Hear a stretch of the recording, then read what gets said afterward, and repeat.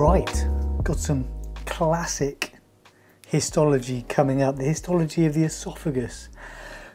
The food tube, why is the histology of the esophagus so classic? Well, we're interested in the anatomy of the gastrointestinal tract.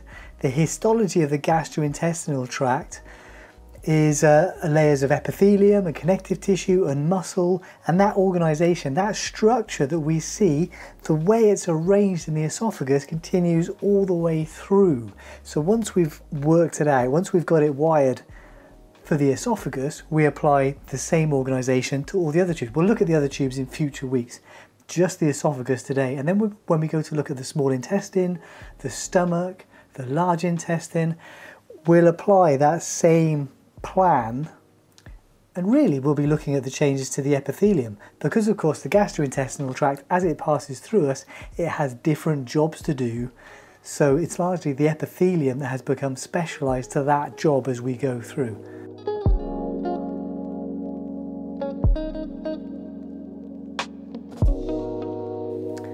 So what is the job of the esophagus? Here it is. What we're looking at there is there's a, a tube so I don't think this is a human one, it's a bit too small, isn't it? Uh, the human esophagus is about 25 centimeters long. It's a muscular tube, and this is a transverse section through it. So it looks like, well, a bit of a circle, but a flattened circle, a bit of a flattened oval. Uh, this is stained with hematoxylin and eosin, so most of it's going to be a bit pink, at least I think it is, and uh, the nuclei will be purple. At least I think it's H and E. I haven't actually looked at this. uh, an insight into my workflow. Uh, a little bit last minute. Um, also then, here's the gastrointestinal tract on the board. So there's the oral cavity and the pharynx. The esophagus is here, uh, running behind the larynx. So it's a flattened tube most of the time. And of course, it's a tube connecting the pharynx. So swallow, food is swallowed, gets pushed into the esophagus. Food gets passed down the esophagus into the stomach. So that's the job of the esophagus. Nothing to do with absorption or anything yet, just passing the bolus of food down to the stomach. But can you see the surface of the esophagus here? We can see the muscle and we can see that this muscle is running longitudinally. So remember that when we cut a transverse section through it and imagine what that's going to look like when we cut a transverse section through it and then we look at it down the microscope. So that's the, the human esophagus, that's its job. Transport of food and how well have you chewed your food. Um, okay. Uh, and of course,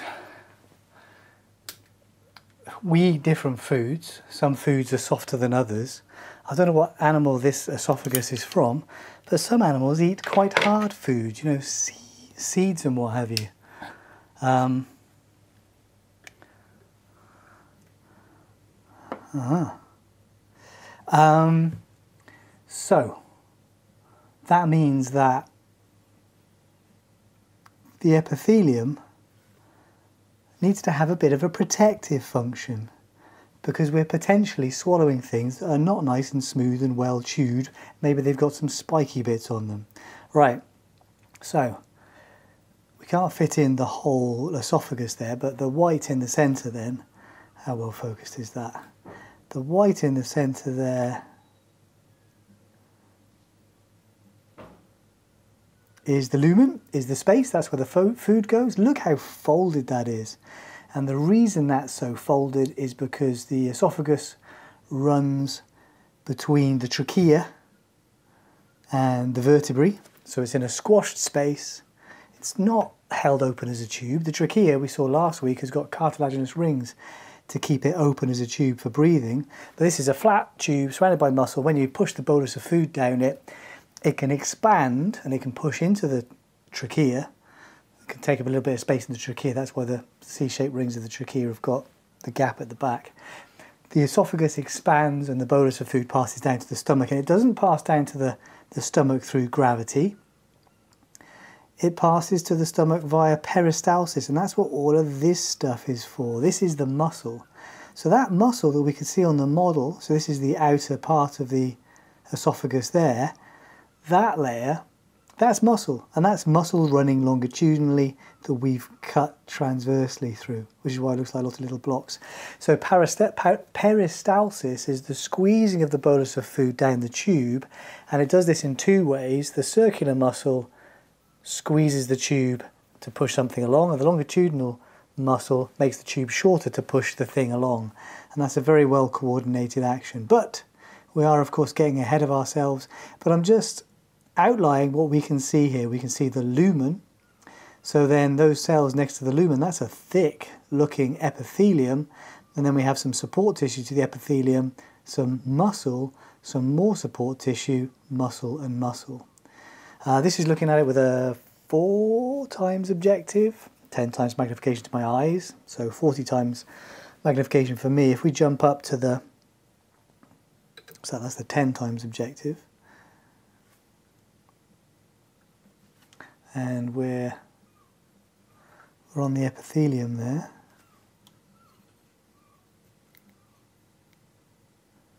I'm always chasing dust with this microscope. Um, let me just tweak this. Where's my slider? There you are. Tweak the image just a little bit. All right, so this is the epithelium of the esophagus. Uh, and the epithelium lines the gastrointestinal tract all the way through. And this epithelium, well, we can see lots of layers. We can see a dark purpley base to it and I think we can see some flat cells. Let's go up to the 20 times objective. There's that epithelium.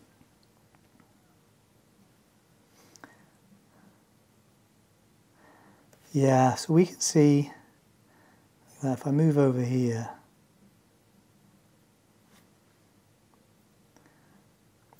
near the surface of that epithelium, um, we can see some cells that have possibly lost their nuclei. We can see some very flat nuclei.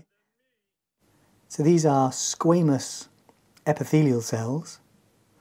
Um, there are multiple layers, so it's stratified, but it's not keratinized. So the, the epithelium of the skin is keratinized, making it waterproof and particularly tough. So this is a non-keratified, stratified squamous epithelium. And the purpose of that is that as we swallow the food, the bolus of food, it's potentially abrasive, so it's going to wear away the cells of the epithelium next to the lumen, just like the cells on the surface of the skin get worn away. Um, so we have multiple layers. As the layers closest to the lumen lost away, there are more layers to come through.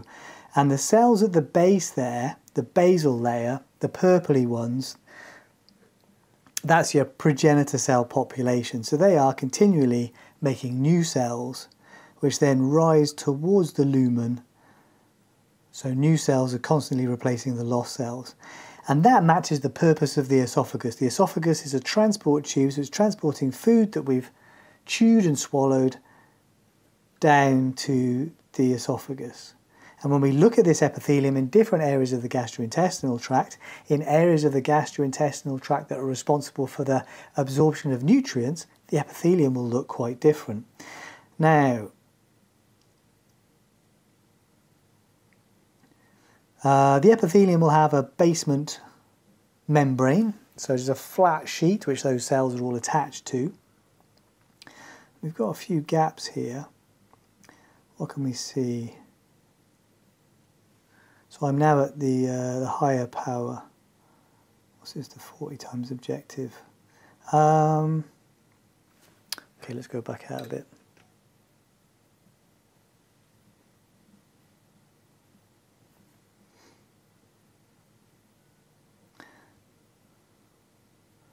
Okay, that's that's reasonably good. So we've got our epithelium.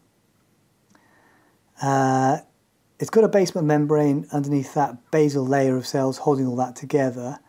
And then the next layer kind of looks a bit wispy. That's the lamina propria.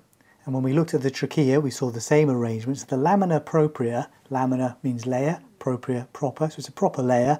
This is a a layer of connective tissue, loose connective tissue, so a supportive layer, a structural layer. We'll find little blood vessels in there, maybe lymphatics. uh, maybe some maybe some nerves in there, um, and that's supporting the epithelium. Now in the trachea we said epithelium plus lamina propria equals mucosa. You put those two together, you got the mucosa. In the gastrointestinal tract, we've got an extra layer here. Does that look like anything to you? That is muscle, um, smooth muscle. Well, so this is the muscularis mucosa. Uh, this is an extra layer we find in the gastrointestinal tract. So we have epithelium plus lamina propria plus muscularis mucosa. Those three together make the mucosa. And the muscularis mucosa probably helps keep the epithelium pushed against whatever's passing down the lumen, in this case the bolus of food. Uh, and we, we get various folds in the epitheliums. It probably helps to squeeze out those folds as well. So that's the muscularis mucosa. Can you see that the cells, the smooth muscle cells of the muscularis mucosa um, have been cut through. So these are running longitudinally. So we've cut, these are cells going in that direction and we've cut, cut through them like that. So they're longitudinal cells. And they're running in a ring around the epithelium and the muscularis mucosa is separating the mucosa from the next layer. So there's the epithelium. Next to it is the lamina propria. Then we have the muscularis mucosa. That's the mucosa. And then the next layer is the submucosa. So the submucosa is, uh, is the next layer out.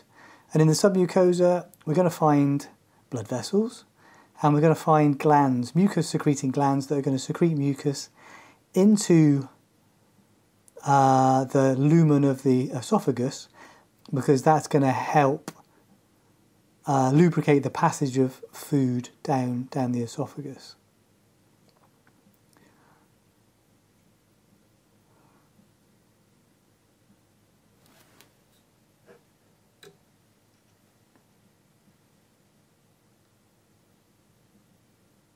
How well can we see that? That looks a bit, bit blurry.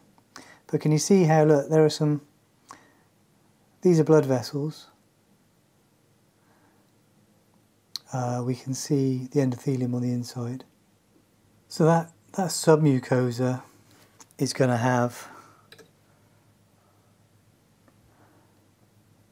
mucus secreting glands and their ducts, blood vessels, little arteries and veins, nerves, lymphatics, connective tissue.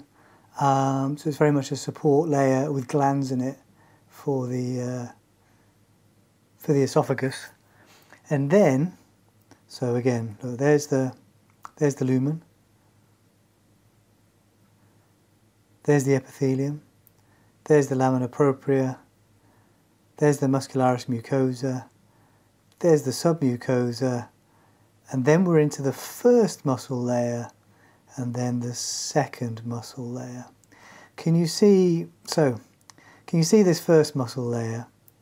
So it looks like we're looking at smooth muscle here.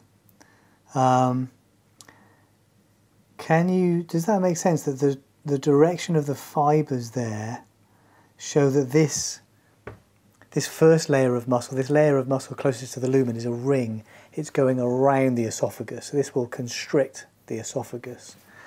And then the next layer out, so the outermost layer, these muscle fibers are running up and down the esophagus. These are longitudinal muscles and we've, we've cut through them. There is an inner circular ring of muscle and an outer longitudinal layer of muscle and together those two layers work to do peristalsis, to convey the contents along the lumen. And look, we can see more blood vessels and nerves and what have you in between them because Muscles need blood vessels and nerves. Now, in the human esophagus, uh, this muscle at the upper third is skeletal muscle. You know how you swallow? You can control the muscles of your tongue and your pharynx to a certain extent. So the upper part of the esophagus is skeletal muscle under voluntary control. And then as we get to the middle third of the esophagus, this muscle, these muscle layers here, become a mix of smooth muscle and skeletal muscle. Smooth muscle is involuntary muscle. And then as we get to the lower third of the esophagus, as we get closer to the stomach, these muscle layers are smooth muscle layers. So this then becomes entirely autonomic muscle that you have no control over. And just like the rest of the gastrointestinal tract, this smooth muscle will automatically propel the contents along the lumen of the gastrointestinal tract. So, muscle and muscle. Oh, is that? Actually, I'm seeing some. Uh, so I don't know what animals this, this is from, right? But can you see? I'm seeing some striations there. So this looks like skeletal muscle then. And this muscle here, we can also see how the nuclei towards the edge. So yeah, this looks like skeletal muscle in this section. And likewise here. We've got the nuclei around the outside of the transversely sectioned muscle, so that looks like skeletal muscle.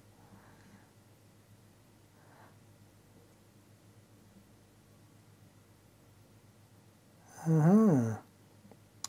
Anywho, so it depends on the level of the esophagus that you're looking at as to whether the muscle will be smooth muscle or skeletal muscle. This is basically a progression from the uh, skeletal muscle the outside bit of the tube to smooth muscle on the inside bit of the tube and then when you get to the other end of the tube you, you get to the skeletal muscle of the skin again. Um, so then that's the muscularis externa, those two layers or the muscularis propria it also gets called. But then as we go out to the very outer parts of the esophagus, uh, the esophagus is surrounded by an adventitia. Again, connective tissue surrounding this, holding it all together, which isn't staining very well. And here we'll find more blood vessels, nerves, lymphatics, fat. Uh, so the adventitia is this connective tissue around the outside. So if you have a, an esophagus if you look at the gross surface of the esophagus, it'll tend to look shiny because of this connective tissue covering. So the adventitia. All right.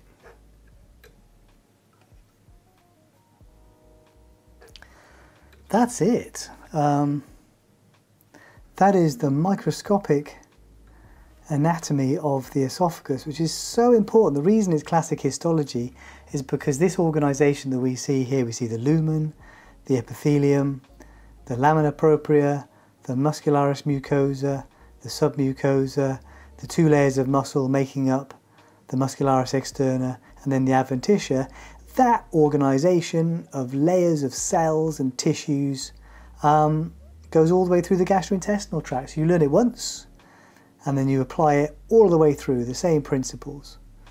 Um, the thing that we'll see over the next few weeks as we go through the gastrointestinal tract is how the epithelium changes. Um, I'm off to Austria to climb some mountains in a couple of weeks. There might be a gap, but uh, we'll look at small bowel, large bowel, uh, and some of the organs, and then we'll also at some point go back into the oral cavity, look at the tongue, maybe look at the oral mucosa and the lips, look at tonsils, and that sort of thing.